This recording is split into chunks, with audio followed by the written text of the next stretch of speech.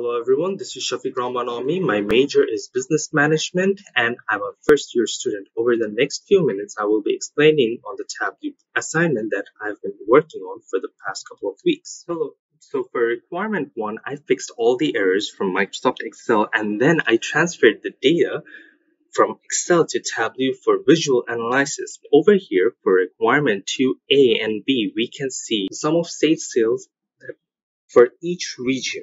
The highest is in New Jersey with a total sale of 1,091,568 and the lowest is in Massachusetts with a with a total sale of $764,532.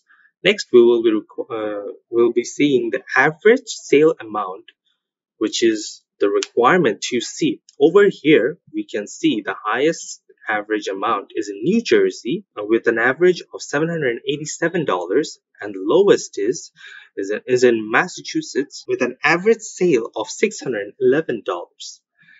For requirement 2D, we will be seeing insurance sold by each state, the count, and highest insurance that has been sold is in Maine state with a total count of sale of $1,400. 1400 and the lowest is in Los Angeles with a total count of sale of 1230. For requirement 3, we will be analyzing sales by each region. The highest sale is in Northeast with a total sale of nine million three hundred one thousand six hundred and the lowest is in New England with four million eight hundred thirty-three thousand three hundred eleven dollars.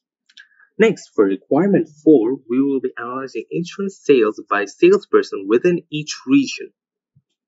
Over here, you can see that on the y-axis of the of this graph, the, there are the names of each salesperson, and the color is used to define each region. And on the x-axis, you can see salesperson has been sold insurance. So over here, you can move the cursor and you can see that for the West region, Peter was the highest person who has sold the insurance. Next, we will be looking at the requirement 5, which is to analyze insurance sale by type and region.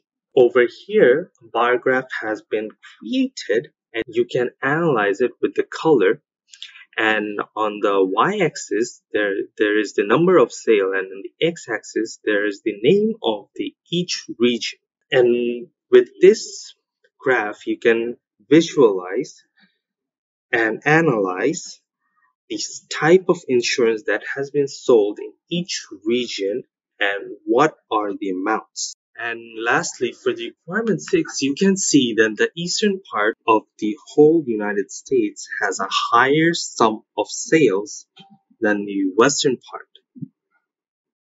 That's it. I hope you enjoy the video and thank you.